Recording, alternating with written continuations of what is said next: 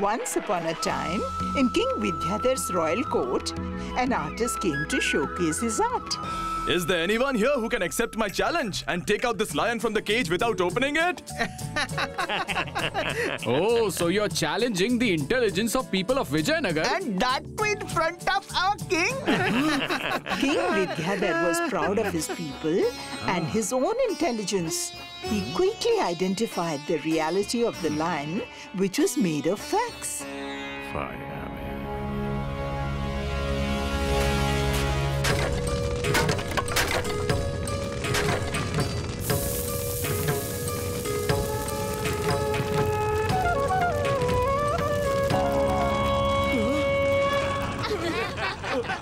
Your wax lion is already out of the cage. this is Vijayanagar. Remember, you can't just trick my people and get away with it. Now my people will decide your fate.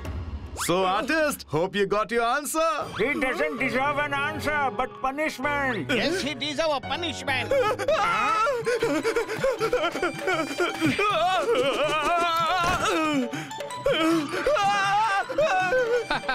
he got what he deserved. Yes, you are right.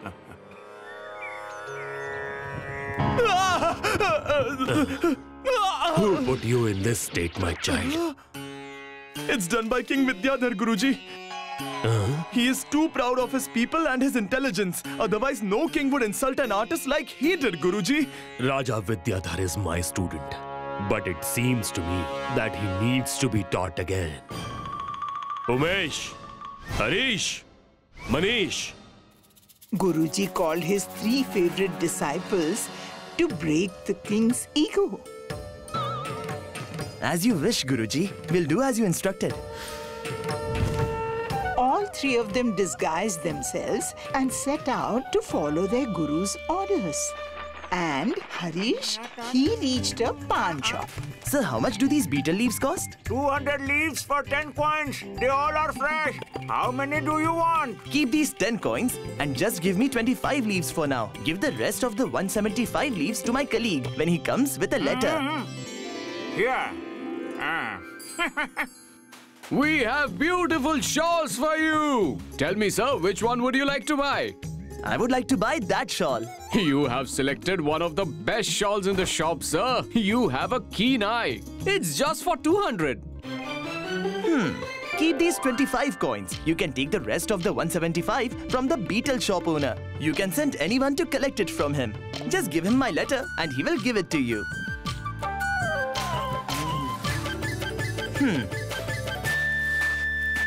The boy went to pawn shop owner. He looked at the letter and said, Yes, yes. That man came here a few minutes ago. Let me finish my lunch, then you come and collect them. I will count and keep 175 of them, okay? The boy came back and informed the owner. Thinking that he would definitely receive the money, the owner gave the shawl to Harish. But when the boy and the owner reached the pan shop to collect the money, he handed over the betel leaves to them instead of the coins. Huh? What should I do with this? I don't care. Eat or sell them. It's up to you. What? Ah. But I have come here to collect my coins. Which coins you are talking about? That man asked me to give him remaining betel leaves, and which I did. Now, both the shop owners began to fight over the betel leaves and the coins.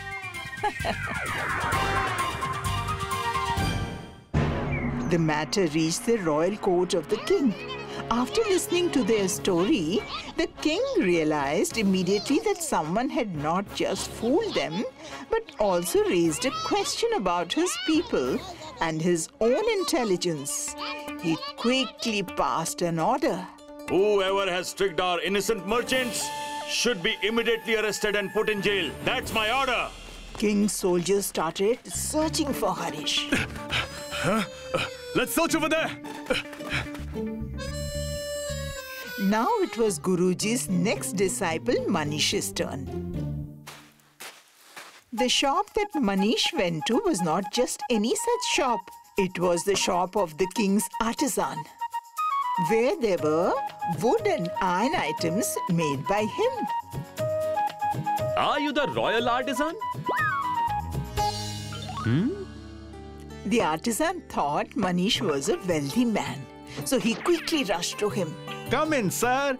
I have created a wonderful device just for people like you. If you catch a thief, you can make him wear this pillory and take him to jail. The thief will never be able to escape.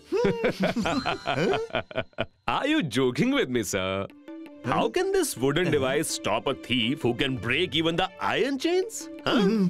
I am a royal artisan, sir, and I can prove its effectiveness to you. Just lock the device, sir, and check its strength. Manish was eagerly waiting for this moment. After the artisan requested it, he locked the device quickly and ran away while taking the key, leaving the artisan stranded. Oh, The moment King heard this news, he got angry and furious. I can't take it anymore. Someone is intentionally making fool out of my people and making fun of me. I will catch him myself. Hmm. The king set out in disguise. As he was searching around, he saw a man sitting with a basket of mangoes in a deserted place outside the city's gate. He was none other than the master's third disciple, Umesh. Why has he set up his shop at the gate of the city? Is he the one who is fooling my people? I have to check. Brother, how much for mangoes? I'm not sitting here to sell mangoes. Then, Are you new over here? Are you unaware there is a group of thugs who are active in the village who are fooling innocent people over here? Even our king is troubled by them. yes, that is true. The leader of that group is going to take this route. I will catch him and hand him over to the king. Do you know their leader? Oh, yes, of course. He's strong and tall. In fact, very tall. You will get scared of him after seeing him. Come on now, please leave from here. Brother, I have also come here to see him. I should hide somewhere. Oh. mm,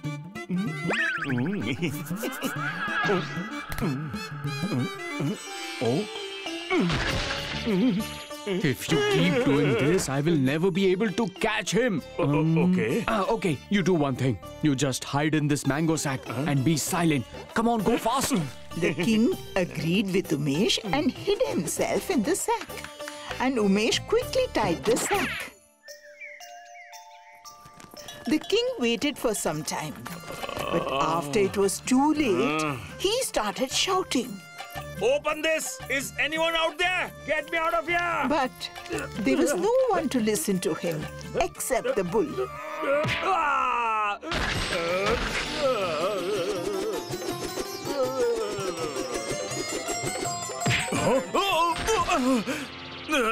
As soon as the soldiers opened the sack, they saw that the king was inside it. Where is that leader? Hmm. The next day, Vidyadhar was shocked to see his Guruji with his disciples and the same artist in the royal court. Huh? Uh, uh, hmm. Guruji, he's the same person. Who tied you inside the sack? yes, these are my students who fooled you and those three merchants of yours. Huh? And they just did it because I asked them to do it. and this act was necessary just to break your pride, with Vidyadhar, so that you never insult an artist again in the pride of your knowledge. I have understood it. Please forgive me, Guruji. Vidyadhar learned his lesson and bid farewell to the artist and disciples with gifts. there was a boy named Veervara. He used to work on a sea ship. During one of his sea voyages, a very fast storm destroyed his ship and scattered everything. The next morning, When Veervara regained the consciousness, he found himself on an unknown Where have I island. come? Is anyone there? Is anyone there? Is anyone there? After walking for a long distance, Veervara finally came across a city. I found the people!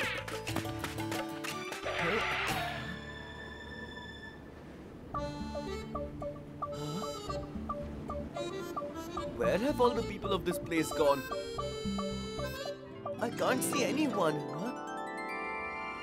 Hail the king! Hail the king!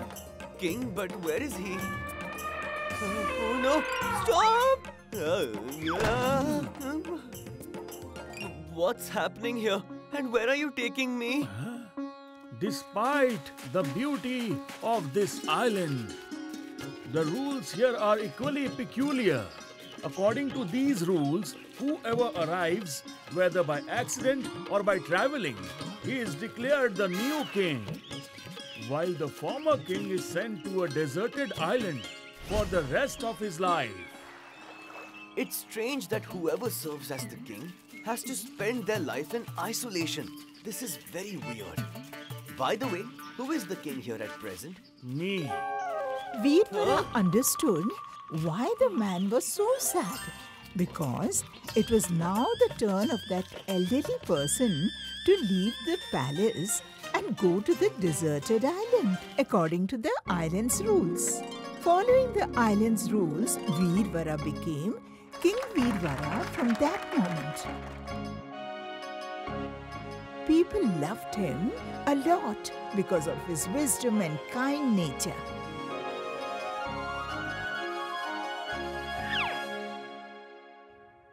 There was one thing that troubled Veervara's mind, and that was one day someone else would come as the king, and on that day he too would have to go to the deserted island. To escape this fate, King Veervara devised a plan in his mind. Huh, soldiers! In the rainy season, the homes of the people living on the coast often get washed away. That's why I order you to develop some parts of the deserted island exactly like our beautiful city. There should be houses, shops, roads, and all amenities. What, the desert island? But my king, only the kings who are abandoned from here are supposed to stay there. Ah, This is not a suggestion, it's an order. as you wish, my king. Following King Veervara's orders, some parts of dense jungle on the deserted island were cleared and given developed.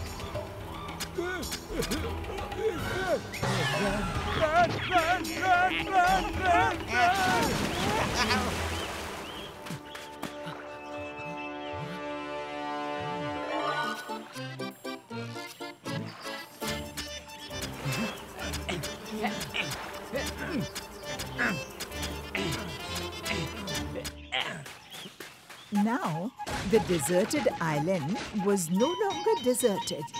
And when it wasn't deserted anymore, why would King Veervara worry about going there to stay after a new king arrived? In this way, his plan worked. And he began to rule without worry. That's when one day My king, my king, my king. There is news of a large ship sinking far away. Forgive me, my king, but whenever such incidents occur, someone arrives here carried by the current, which means. This means your new king is about to arrive. Yes, my king.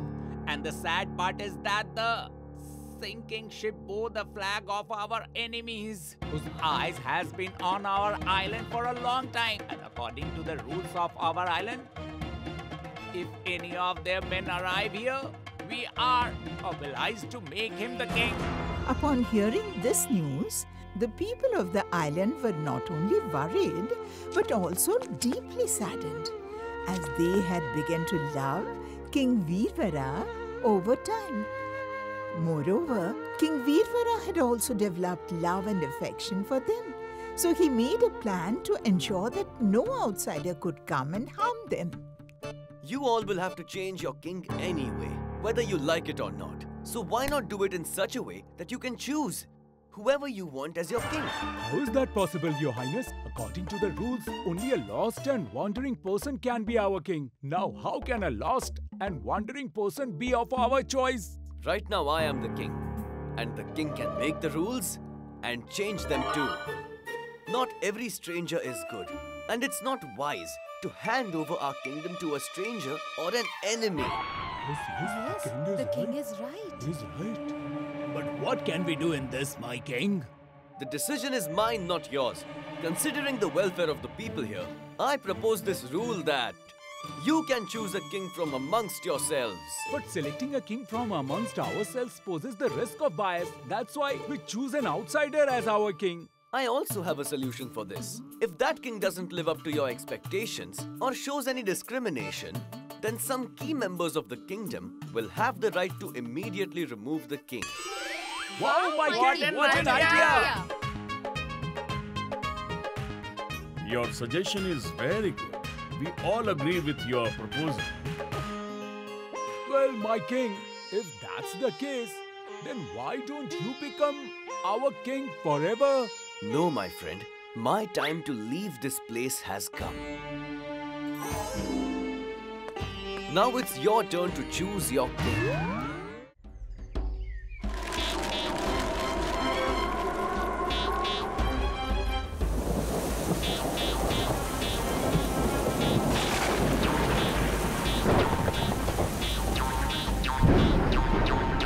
Ultimately, the forest goddess was pleased by their prayers.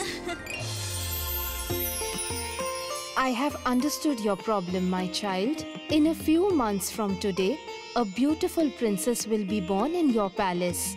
However, there will be one flaw in her. Flaw? What, What kind of flaw? She will have a strong liking for wearing new clothes every day, and this habit of hers may bring a great crisis in your life. So tell me, do you still wish to have a child? Goddess, it doesn't matter if there is some pain along with such great happiness. As you wish.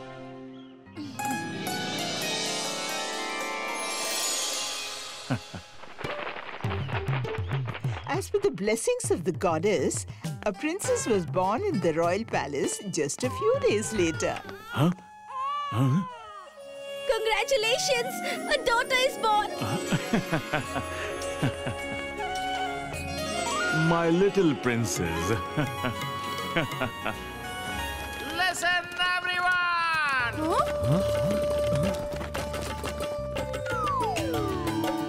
As soon as this news spread throughout the kingdom, the entire kingdom lit up like Diwali in celebration of the king's joy.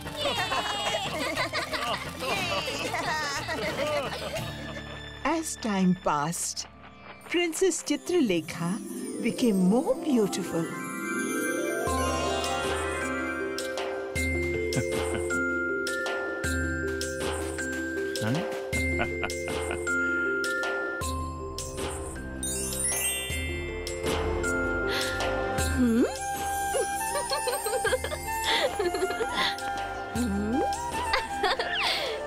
Be feeling tired from keeping it on your head all day. Let me wear it for a while. As you wish, princess. It looks so beautiful. huh? What are you doing? Colors are not meant to be kept like this, but to be spread and enjoyed. Hmm?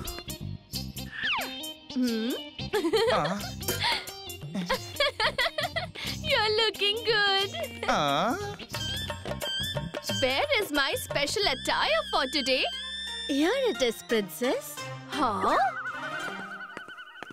Huh? What is this? Will Princess Chitralekha wear such ordinary clothes? Even after my instructions, you haven't added any diamonds to it. And where is the work of golden flowers on it?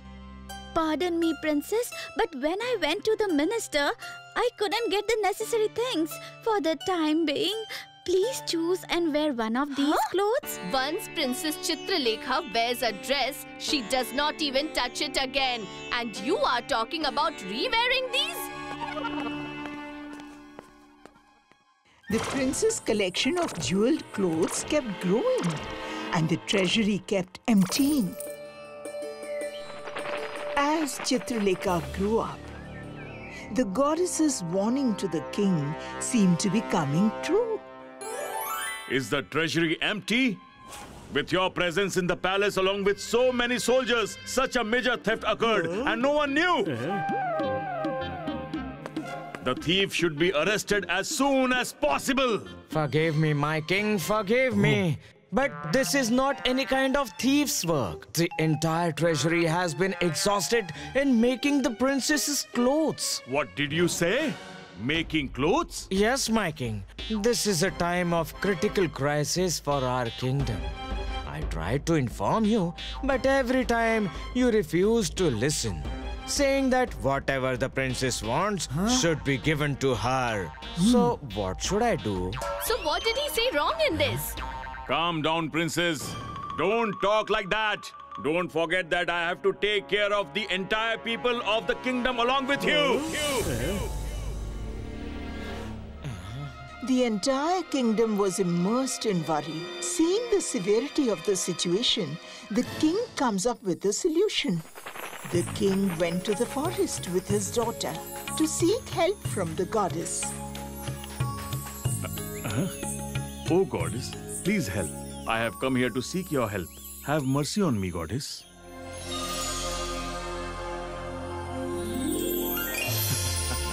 I know the reason for your visit here, my king. Remember, I had cautioned you, but you didn't pay any heed to it. Please forgive me, goddess. But now my entire kingdom is in distress. You are the only one who can help us.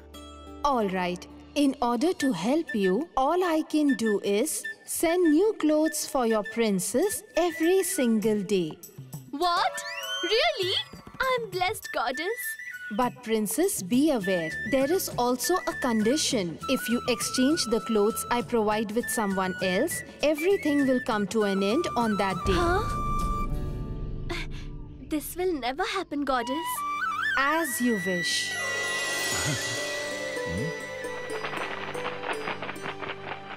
From the very next day, new clothes used to appear for the princess every day, and she felt quite happy while wearing them. The days, months, and seasons changed. But what didn't change was the princess's restless mind. After enjoying for some days, the princess began to get bored of wearing the goddess's clothes. And with time, she even forgot her promise to the goddess.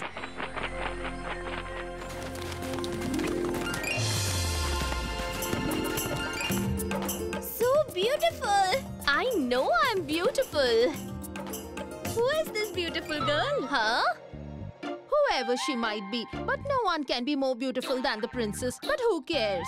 Well, the princess is indeed beautiful.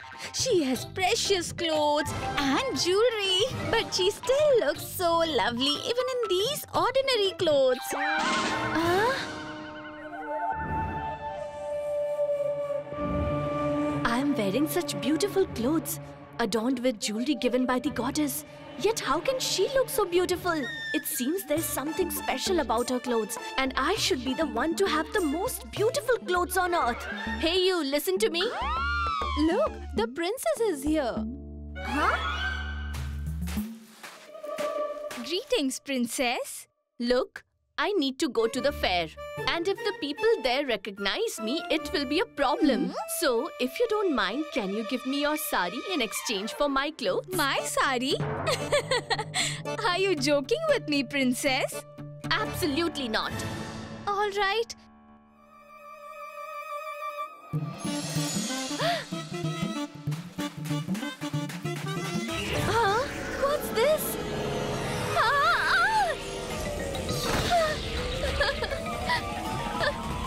Have I come to?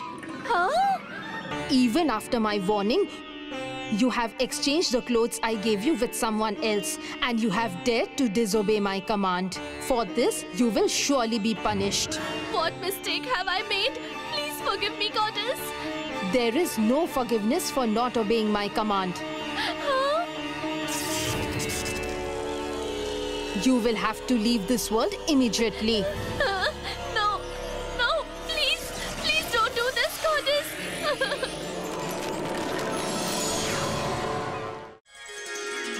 Vidyadhar needed a minister for his kingdom. Someone wise who could give him the right advice at the right time. Listen, listen, everyone. Pay attention to the king's command. Four months from now, those who bring fresh vegetables from their fields and a bowl of intelligence while following their shadows all the way to the palace will be chosen as the minister of the kingdom in the royal palace. Listen, everyone. Money is honey. I will definitely become the minister. Come on, let's begin the work to become the minister. You are right. Mm.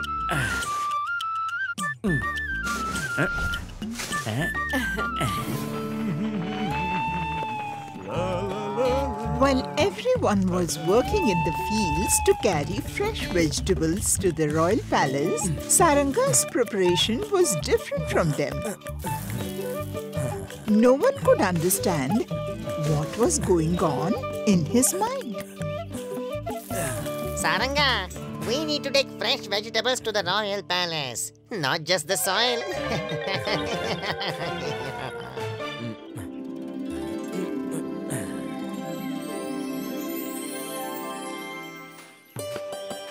Days and weeks passed.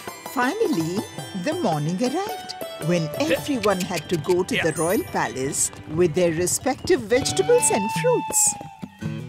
I will become the minister.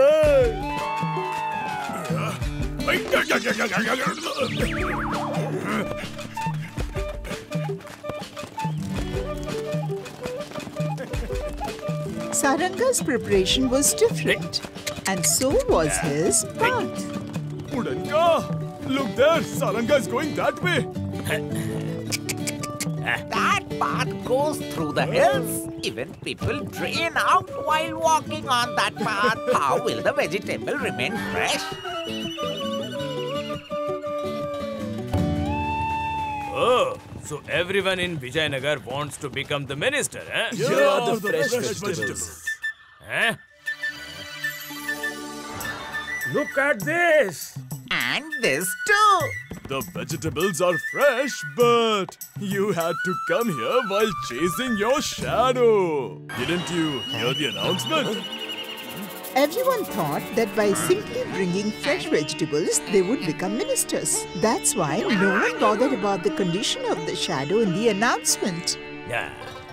Saranga was intelligent. Upon hearing the condition that one must come chasing his shadow, he understood that the king wanted them to enter through the western gate of the palace. On that path, the sun rays fall on the backside of the people, thus creating their shadows in front of them. Mungi, look there. The king has asked for fresh vegetables, but he's just carrying soil. He can't be foolish. I am sure he has found a way to carry fresh vegetables to the palace. You mean he will become the minister? No! By looting his vegetables, we will become ministers. And then there will be no need to steal forever.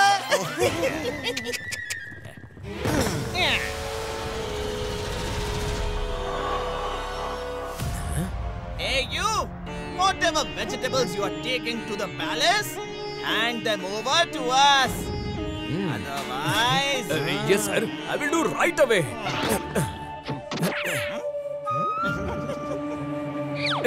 Here it is. You should open it only in front of the king. If opened earlier, the air might spoil the vegetables. Oh, yes, we get your point.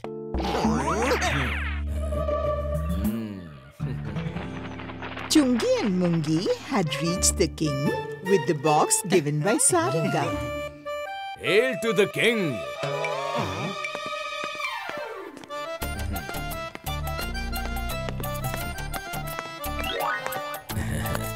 Greetings. Wow, you came here while following your shadow. but where are your vegetables? My king, I don't think he has them. Please take a look at my fresh vegetables. After becoming a minister, I will handle people like him who waste your time. Ah. okay then. Let me have a look at your vegetables. Hmm? Huh? Hmm?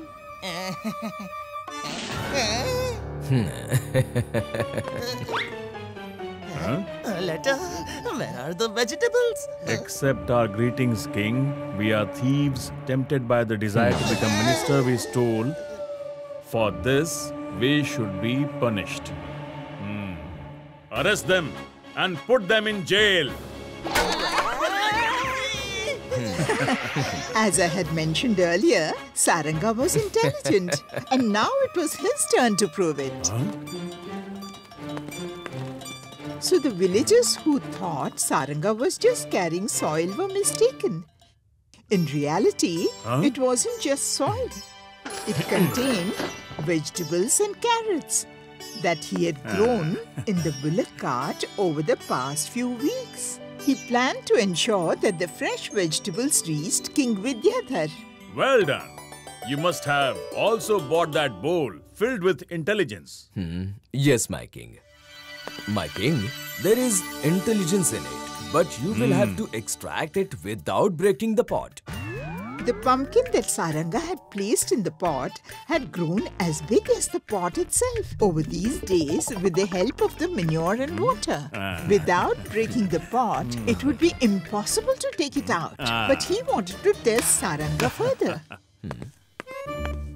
Your intelligence and cleverness are admirable, Saranga. Now tell me, if we have to choose one of these three dolls for the royal court, which one would it be?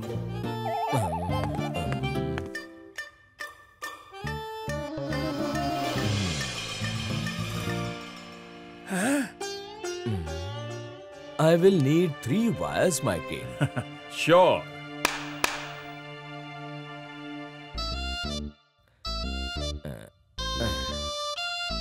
Hmm. Hey, what he's doing?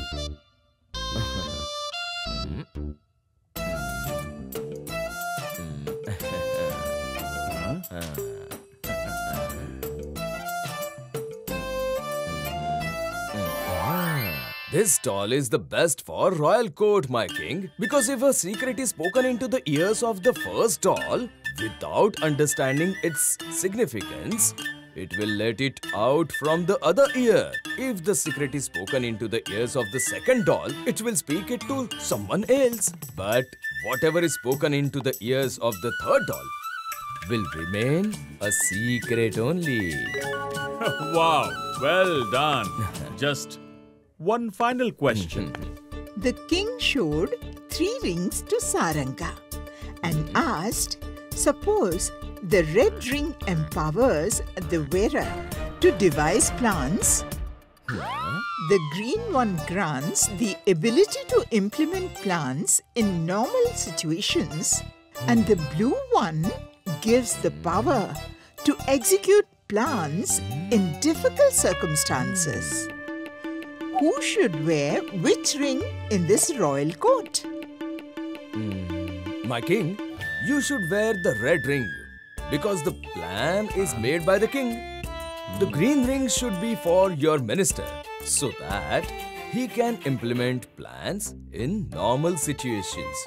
And the blue ring should be worn by the commander so that he can execute your plans in any difficult circumstances. Well done. You are really intelligent, Saranga. My king. And thus, with his wisdom, Saranga became the minister of Vijayanagar and worked for years for the welfare of his kingdom and people. If you like this video, subscribe to our channel Murty Media.